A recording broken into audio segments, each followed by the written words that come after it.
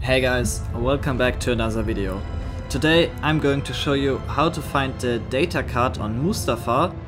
It is hidden in the mining complex, so all you have to do is land there and follow this way through the tunnels.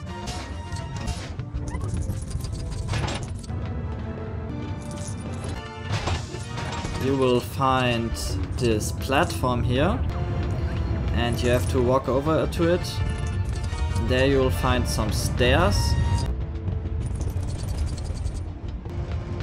There you will find these boxes, you have to destroy them.